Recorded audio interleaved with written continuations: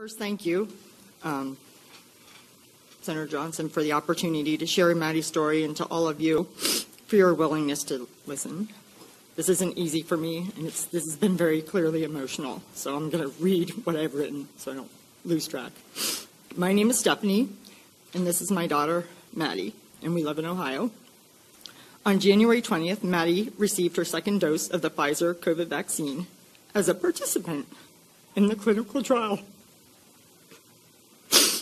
for 12 to 15 year olds. All three of our kids volunteered and were excited to participate in the trial as a way to help us all return to normal life. My husband works in the medical field, and I have a degree in electrical engineering. We are pro vaccine and pro science, which is why we agreed to let Maddie and her two older brothers volunteer for the trial.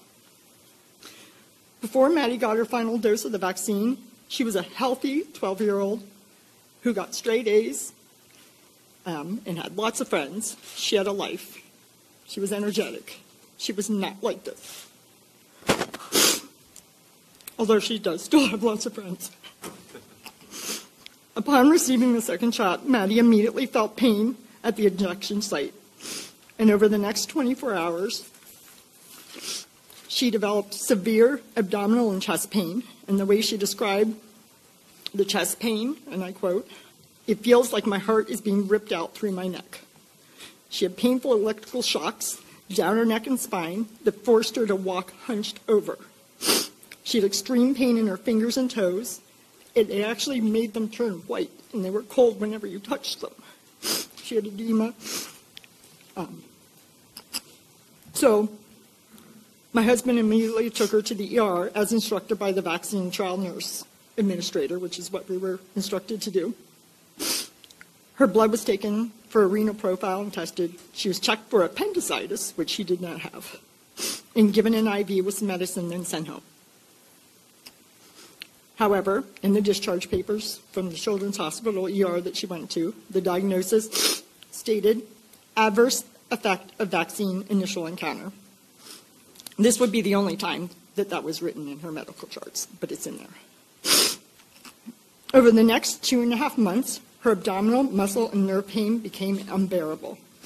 She uh, developed additional symptoms that included gastroparesis, nausea and vomiting, erratic blood pressure and heart rate, memory loss. She mixes up words, brain fog, headaches, dizziness, fainting. She fell and hit her head, and then um, seizures. She had verbal, she developed verbal and motor tics. She had loss of feeling from the waist down and muscle weakness.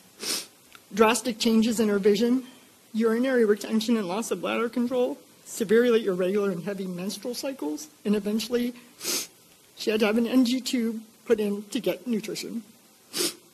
All of these symptoms are still here today. Some days are worse than others. Our greatest challenge came when her doctors began to consider an alternative diagnosis. Well, she really didn't have one before, so it was the first one. So, like everybody else, she had lots of tests, but not nearly as many tests as everybody else, and she's a child.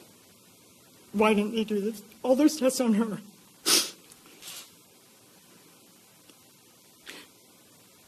Sorry. So, because they couldn't figure it out, one physician labeled, labeled her as having functional neurologic disorder, saying it was due to anxiety. This concerned us, and we didn't agree with it because she doesn't have the anxiety. Look at her.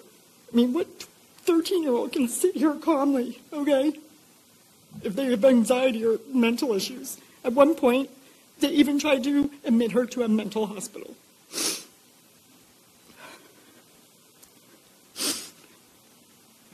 So we did seek additional medical opinions, some of which came from this group.